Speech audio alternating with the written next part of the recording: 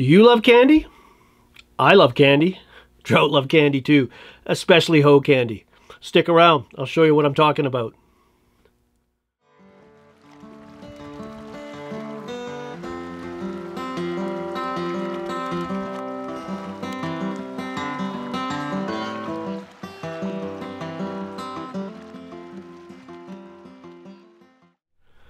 Hi everyone, I'm Phil Rowley and welcome to my tying bench. If you've been here before, it's good to see you again.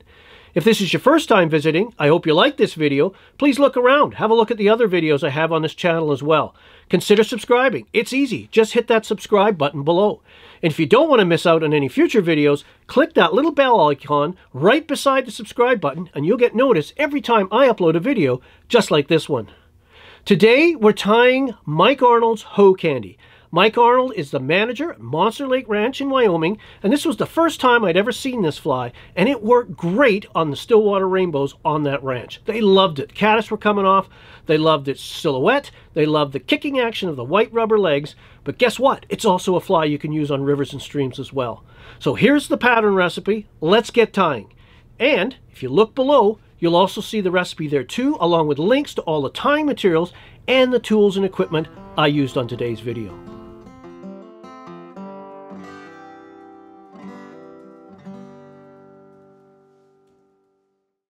So I'd like to introduce you to Mike Arnold. He's the head guide at Monster Lake Ranch in Cody, Wyoming. His Ho Candy. Great little dry fly that works so well for us on a recent trip down there, chasing caddis on top, which you can see on my vlog.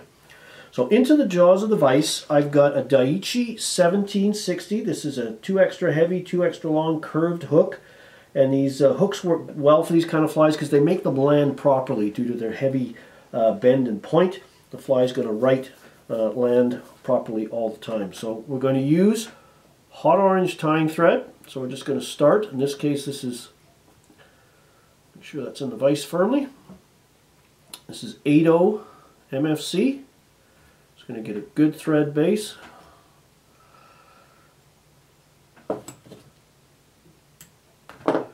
Trim away the excess. Take it down into the bend about halfway between the point and the crushed down barb. For the tail, I'm going to use some golden pheasant tippet. So the way to do this is not to actually strip, because of the way the, the feather goes, we want to keep those all nice and aligned. So the best way to do it is not to strip them from the stem, but to actually take your scissors and trim. If you strip, they'll become misaligned. Well, they're nice and we want to tie these in about half the shank length long, which is about just in front of the band. That black band on the feather. And it'll increase the tension. So my first couple of wraps were controlling and firm, but I don't want that tail to flare too wildly. To keep it kind of gathered. So we'll just secure that up the shank, trim off the excess, and then work our way back almost to the base of the tail. And we're going to tie in the body. And there's lots of different body materials. We're going to use ice dub. And Mike, actually the one that worked well for him was to be tied with UV shrimp pink. You could use golden brown, you could use brown, you could use dark olive. I think I'm going to tie this, out of respect to Mike, in the shrimp pink color he did. The fish were taking caddis when we used this, and they certainly weren't a shrimp pink color, but it was also a lot of hoppers around, and it's just a silhouette. I think they just liked this fly. So they were eating it, we were feeding it to them. So I'm just going to I've moistened my fingers slightly, and I'm just going to twist this ice dub, sparse little clumps that are easy to twist on. Don't use too much. You can always add dubbing. And you notice I've kept a little bit of the thread bare. In fact, I'm going to give that a better twist there. And now I can come in and use my thread to aim my dubbing so it starts right at the base of the tail.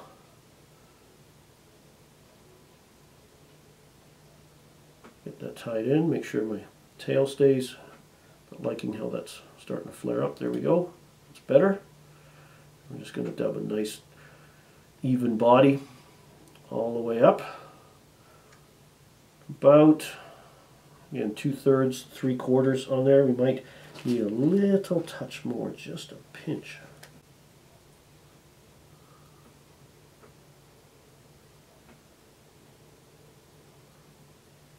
Cure that down, and there we've got that. Now we're going to put a wing on the fly. And for a wing, we're going to use some Widow's Web in white. I've taken off a maybe half a gape wide width and I'm just going to tie this in place just in front of the body, come forward a little bit, and then I'm going to take the remainder of this and fold it back over. You can wind back onto the body ever so slightly. Tie all that down, compact it. And I in with my scissors and trim this about halfway up the tail. Make sure you always got a few little stragglers here that don't want to come. Trim those out of the way. We got a nice little, very nice visible wing for us to see. So Michael also likes to put a little added flash in the wing, and so how we're going to do that is a little crystal hair. So just lay that on there and kind of, I've used my fingers to sort of splay it out. And then I'm going to take the remainder that's forward here, kind of fan it out as well, and fold it back onto the wing, like so. So there we go, we got a little bit of crystal hair, or sometimes it's sold as crystal flash, it's all pretty well the same stuff. That's just going to shimmer throughout over the wing like that. Now we need to put more buoyant wing material on there too, or another buoyant material is probably a better thing to do because that widow's web's pretty buoyant, and that's some deer hair. You just heard me thumping off camera. We're going to tie in some deer hair, and I'm going to measure it so it's about from the eye of the hook, the tips are even with the tail. Turn this around, reconfirm that measurement, because we're going to tie this in in a bullet head style. Again, I'm going to come in, it's a little, manipulate some of this. I'm just going to pre-trim this a little bit. I'm just going to, going to push that around so it envelops the head. One wrap, two wraps, now I tighten and work that thread back. And if I've done that right, which I think I have. Now I've got to come in and carefully trim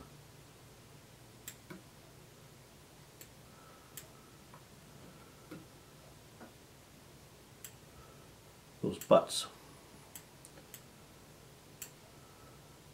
So that's why I pre-trimmed them. It just makes trimming them a little easy. If I left them, uh, those butts untrimmed, they would be blending in with the hair and just generally getting in the way. Looks pretty good. And then we can, if it spins, that's good too. It helps. And we're going to bring this back roughly to the base of the wing. And now I'm just going to take all of these fibers like so. It may take a couple of attempts. Try not to stab myself in the process. Just going to hold Sometimes you can get tools for this, but I'm just going to now take one wrap, two wraps. Now I've made a nice little bullet head. I'm building up a nice little yellow hot spot, if you will, a yellow orange, hot orange little band, like so. And what Mike does with his as well is he trims everything on the underside the fish can see that body color. That's all trimmed away like so. I got one errant fiber there. I can just pluck him out of the way. And then what we're going to do now is put some rubber legs on it. So these are centipede legs, or round rubber, MFC centipede legs, and they're in medium. So I'm going to take two strands secure them on top like so and then move them around to the side so grab the near side grab both ends and just sort of wiggle them into position. Do the same on the far side. You want that nice wide band because that helps splay the legs out. If that band is too narrow, those legs are going to be like so. And we don't want them like that. We want them to kick out. So when we strip these on the water, it looks like terrestrial's legs. They kick, they flop. And we're going to trim these front two so we can do our whip finish. Maybe shank length. We can trim them up a little bit later. I'm going to add some adhesive, in this case Solarez Bone Dry, to our tying thread. I got a little drip on the, the leg. Let's wipe that off. A couple more wraps. Whip finish, weaving our whip finisher in and around those legs. Only need a few. And